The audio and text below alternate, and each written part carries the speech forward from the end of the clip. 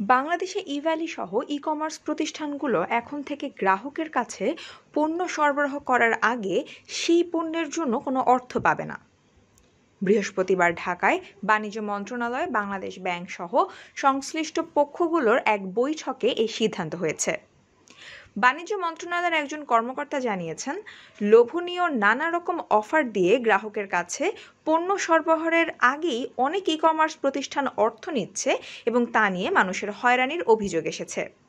সেজন্য কর্তৃপক্ষ সিদ্ধান্ত নিয়েছে যে পণ্য গ্রাহকের হাতে পৌঁছানোর পরই ই কমার্স প্রতিষ্ঠান অর্থ পাবে এবং কেন্দ্রীয় ব্যাংক তা নিয়ন্ত্রণ করবে। ই কমার্স প্রতিষ্ঠানগুলো বলেছে, সরকারি এই সিদ্ধান্ত তারা মেনে নিয়ে এখন সেভাবেই তারা তাদের নীতিমালা তৈরি করবে। ই ভ্যালি এবং আলেশা মার্ট সহ দশটি ই কমার্স প্রতিষ্ঠানের সঙ্গে সর্বশেষ দুটি বেসরকারি ব্যাংক, ঢাকা ব্যাংক এবং ব্যাংক এশিয়া ক্রেডিট, ডেবিট এবং প্রিপেইড কার্ডের লেনদেন বন্ধ করে দিয়েছে। এর আগেই ব্র্যাক ব্যাংক লেনদেন বন্ধ করেছে। বৃহস্পতিবার বাণিজ্য মন্ত্রণালয়, বাংলাদেশ ব্যাংক, জাতীয় রাজস্ব বোর্ড সহ সংশ্লিষ্ট দপ্তরগুলোর যে বৈঠক হয়, সেই বৈঠকের পর বাণিজ্য মন্ত্রণালয়ের অতিরিক্ত সচিব মোহাম্মদ হাফিজুর রহমান বলেছেন ই কমার্স প্রতিষ্ঠানগুলোর পেমেন্ট পদ্ধতিতে বড় ধরনের পরিবর্তনের সিদ্ধান্ত তারা নিয়েছেন। তাৎক্ষণিক ব্যবস্থা হিসেবে বাংলাদেশ ব্যাংকের মাধ্যমে পেমেন্ট গেটওয়েগুলোকে নির্দেশনা দেওয়া হবে যে পণ্য ডেলিভারির পর গেটওয়েরা যখন তথ্য পাবে, এটা নিশ্চিত হওয়ার পরই তারা পেমেন্টটা ই কমার্স কোম্পানির জন্য রিলিজ করবে। পণ্য ডেলিভারির আগ পর্যন্ত তারা পেমেন্টটা হোল্ড করে রাখবে। বলেন মিস্টার রহমান। তিনি আরও জানিয়েছেন, ক্রেডিট বা ডেবিট কার্ডে লেনদেনের গেটওয়ে আছে। এর মাধ্যমেই ই কমার্স প্রতিষ্ঠানের সাথে গ্রাহকের লেনদেন বাংলাদেশ ব্যাংক নিয়ন্ত্রণ করবে।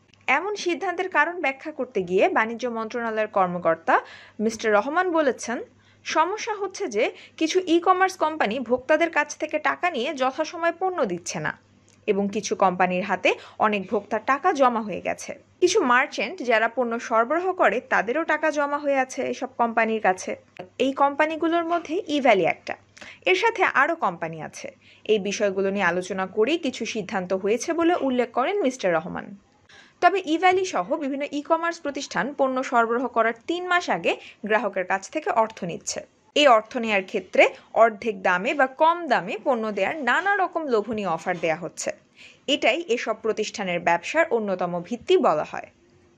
কিন্তু এই পদ্ধতিতে মানুষের হয়রানির নানা অভিযোগ তুলে সরকারি কর্তৃপক্ষ এখন বিভিন্ন ব্যবস্থা নেওয়ার কথা বলেছে।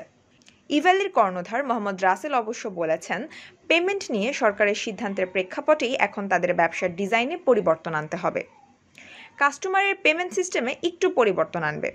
আমরাও এটাকে স্বাগত জানাই। নীতি নির্ধারকেরা যে নিয়মকানুন করবেন, আমরাও চাই না তার বাইরে যেতে। তিনি আরও বলেন, আগে পেমেন্ট করলে আমরা তা পেয়ে যেতাম। পণ্য সরবরাহকারীর সাথে সেভাবেই ব্যবস্থা ছিল। এখন সরবরাহকারীকে যদি আমরা কনভিন্স করতে পারি যে আমাদের পেমেন্ট হোল্ড আছে এবং আপনারা প্রোডাক্টটা দেন।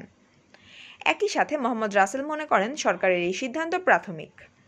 ই কমার্স প্রতিষ্ঠানের ব্যবসার বিষয় নিয়ে এই ইস্যুতে বাংলাদেশ ব্যাংক বা বাণিজ্য মন্ত্রণালয় হয়তো আমাদের সাথে আলোচনা করবে।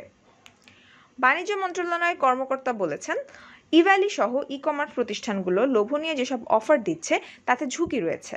এই বাজারে অসুস্থ প্রতিযোগিতার কারণে যে কোনো সময় তাতে ধস নামতে পারে। এটাকে উদ্বেগের বিষয় বলে বলছে বাণিজ্য মন্ত্রণালয়।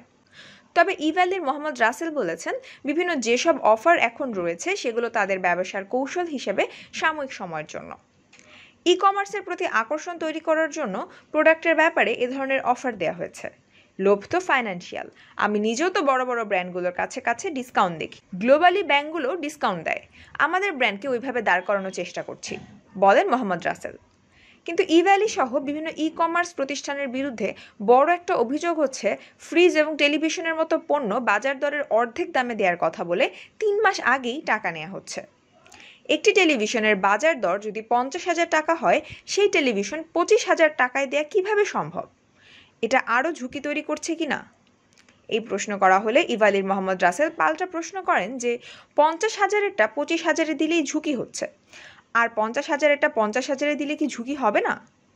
আমরা কিন্তু একবারও বলছি না যে আশি হাজার টাকার প্রোডাক্টটা সারা জীবনই পঞ্চাশ হাজার টাকায় দিতে থাকব। আমরা বলছি আমরা কিন্তু ওভার দ্য টাইম আমাদের ই ভ্যালির শুরুতেই কিন্তু ডিসকাউন্টের পরিমাণ অনেক বেশি ছিল। এখন কিন্তু অনেক কমে আসছে। বলেন মোহাম্মদ রাসেল। ই কমার্স প্রতিষ্ঠানগুলোর ব্যবসার ব্যাপারে এখনও কোনো নীতিমালা নেই। বাণিজ্য মন্ত্রণালয়ের কর্মকর্তারা বলেছেন, এখন দ্রুত একটি নীতিমালা তৈরি করা এবং তার আগেই কিছু নির্দেশনা ঠিক করা হবে।